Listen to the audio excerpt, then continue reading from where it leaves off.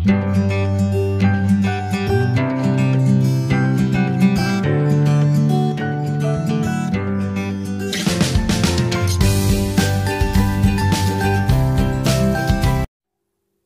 विद्यार्थी मित्रांनो आज आपण बघत आहोत आर्टिकल्स आर्टिकल्स म्हणजे उपपदे.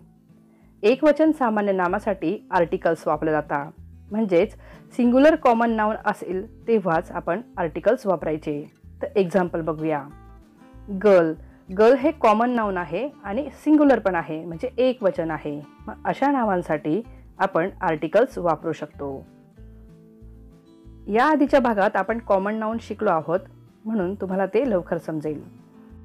बघा इथे गर्ल्स गर्ल्स गर्ल्स ह्या दोन आहेत म्हणजे प्लुरल आहेत आणि प्लुरल जेव्हा येतं तेव्हा आपण आर्टिकल वापरू शकत नाही. अनेक वचनासाठी आर्टिकल्स वापरायचे नाही. तसेच प्रॉपर नाऊन जेव्हा येते तेव्हा आर्टिकल वापरायचे नाही. जसे की Radha is a good girl Radha हे तिचे प्रॉपर नाऊन आहे. ज्यावेळेस प्रॉपर नाऊन येते तेव्हा आर्टिकल्स वापरायचे नाहीत.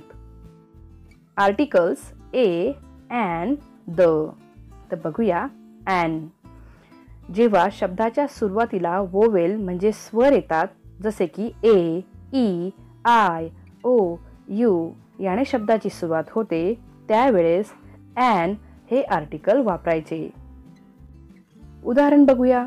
Example and apple and elephant and ice cream and orange and umbrella बघा यात प्रत्येक वाक्यामध्ये A E I O U हे पाच वोवेल्स वापरलेले आहेत आणि म्हणून यांच्या सुरुवातीला आपण ॲन वापरतो. शब्दाचं सुरुवातीचं लेटर हे जर ओवेल असेल तर त्याआधी आपण ॲनचा वापर करायचा. आता पुढचे आर्टिकल बघूया. ए स्वर वापरल्यानंतर जे व्यंजन उरतात A E I O U हे स्वर सोडून जे उरलेले बाकी सगळे व्यंजन आहेत त्यांच्या सुरुवातीला म्हणजे शब्दाच्या सुरुवातीला हे व्यंजन आले तर आपण ए वापरतो. मग बघा खूप सारे व्यंजन असतात. B C D F G A J हे सगळे काय आहेत? व्यंजने आहेत. मग चला उदाहरण बघूया.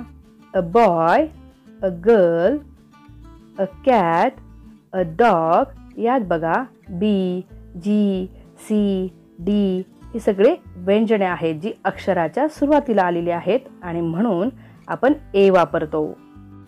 यानंतर पुढचे आर्टिकल बघा द. द हे उपपद स्पेसिफिक म्हणजे काही विशिष्ट गोष्टींसाठीच वापरले जातात.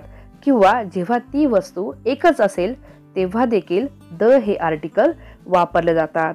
ते कसे? उदाहरण बघूया. पहिलं एक्झाम्पल आहे I met a man the man was blind हे एक पूर्ण वाक्य आहे. या वाक्यामध्ये मी एका माणसाला भेटले पण तो माणूस आंधळा होता.